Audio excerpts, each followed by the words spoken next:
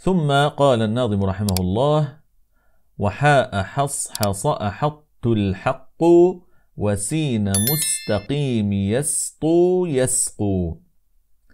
أي رقق الحاء من هذه الكلمات ثلاث كلمات وأيضا رقق السين من ثلاث كلمات أخرى.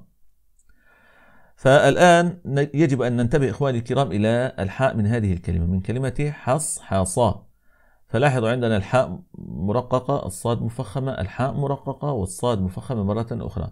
ويجب أن ننتبه أكثر إلى الحاء الثانية.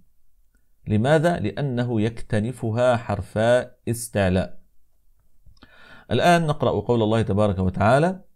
أعوذ بالله من الشيطان الرجيم.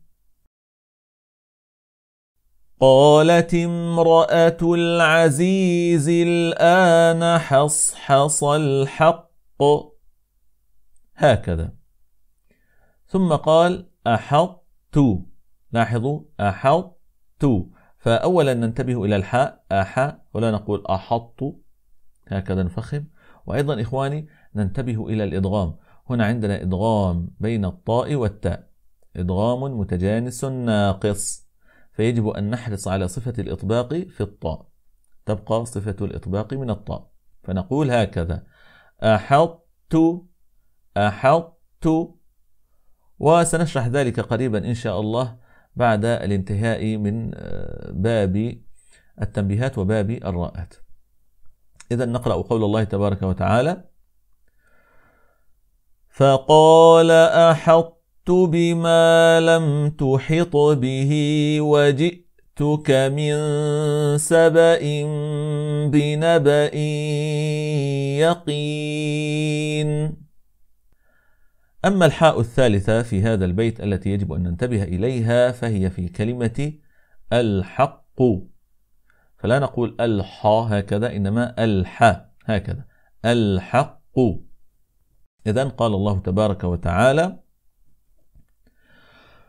فأما الذين آمنوا فيعلمون أنه الحق من ربهم. نعم.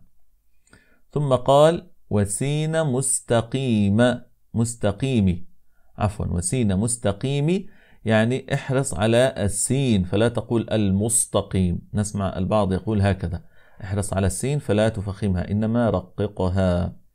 إذا نقرأ قول الله تبارك وتعالى اهدنا الصراط المستقيم. ثم قال يسطو. فكما تلاحظون إخواني الكرام هذه ليست كلمة قرآنية بهذا الشكل إنما هي جزء من كلمة قرآنية.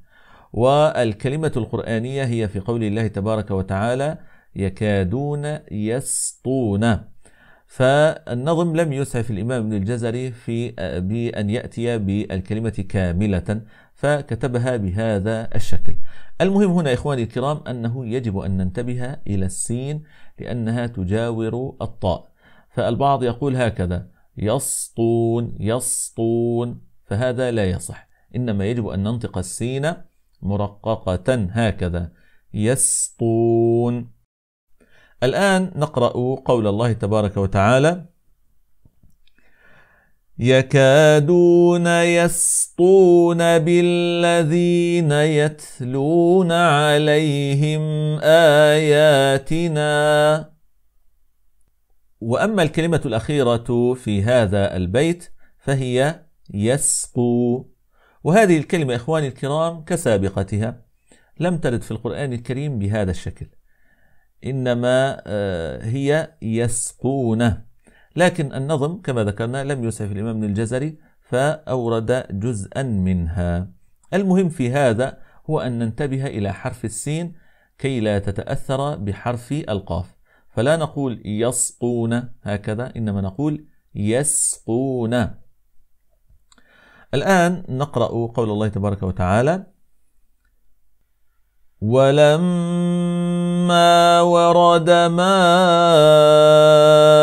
مدين وجد عليه أمة من الناس يسقون.